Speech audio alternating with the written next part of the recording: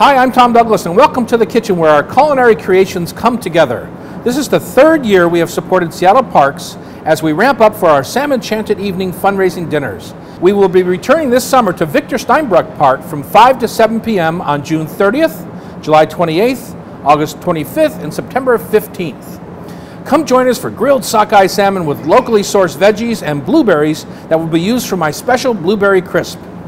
Our Salmon chanted Evening Dinner is 15 bucks, all going to Seattle Parks to pay for concierge and maintenance at Victor Steinbrueck Park, a place that is used all summer long by tourists and locals who enjoy that great vista of Elliott Bay and the Olympic Mountains. Our Salmon chanted Evening Dinners are delicious and healthy too. There's no question that salmon, fresh local veggies, and blueberries are among the healthiest foods you can eat.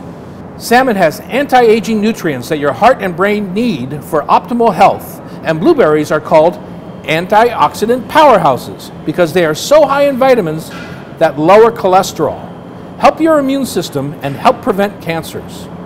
Visit the superblues.net website where you can make your reservation for one of our planned Salmon Chanted Evening experiences, and you'll find my blueberry crisp recipe there too. At the Super Blues site, you can locate You Pick farms and fruit stands all across Washington, where you can buy fresh blueberries in bulk and freeze them for use all winter long. A handful of blueberries in almost anything gives a healthy lift. And special thanks to our friends at Charlie's Produce, Orca Bay Seafood, and Washington's blueberry growers for helping make our salmon chanted evenings possible again this year.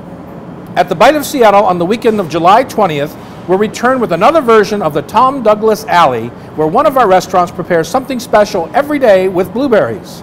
A portion of the $10 admission to the alley each day will go directly to Food Lifeline.